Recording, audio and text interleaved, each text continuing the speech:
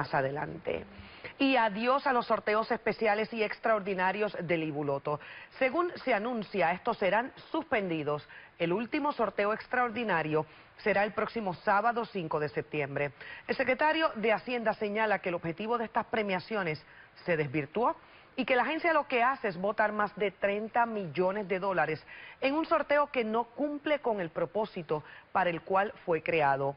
El Ibuloto se creó como una herramienta para fiscalizar los, comercios. El fin era asegurarse de que el impuesto que le cobraban a los clientes llegara a Hacienda. Sin embargo, los consumidores no exigen el recibo o los comerciantes no lo entregan. Y en Telenoticias queremos conocer tu opinión. Te preguntamos, ¿tú participas de los sorteos del Ibuloto? Accede a telemundopr.com. Los resultados los conoceremos en nuestra edición de las 5 de Telenoticias.